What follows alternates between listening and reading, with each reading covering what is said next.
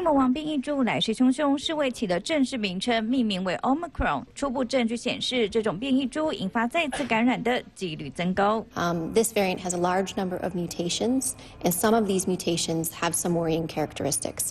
由于新的变种病毒 Omicron 已经入侵南非、以色列、香港与比利时等国，各国纷纷对非洲南部国家寄出旅行限制，甚至连纽约都宣布十二月三号开始进入紧急状态。面对最强变种病毒来袭，美股全面跳水，道琼收盘暴跌九百零五点，其中一度跌破千点。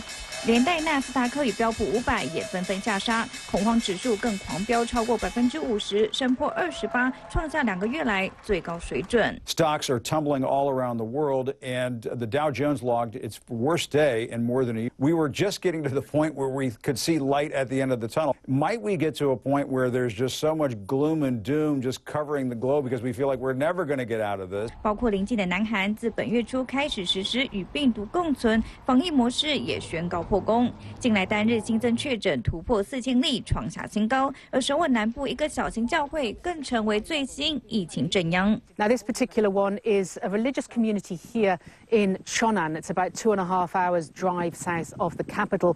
And city officials tell us that some 427 members and more than half of them have so far tested positive. And officials say that of those that tested positive, more than 90% were not vaccinated. 首尔近郊小镇居然疫苗施打率超低，犹如平行世界。由于疫情严峻，南韩首都圈重症病床使用率已经达到百分之八十四点五。总统文在寅恐怕不得不再度政策转弯，宣布二十九号将主持检讨会议，加强防疫。身处东亚地区的台湾，面对病毒，恐怕也该重新提高警觉。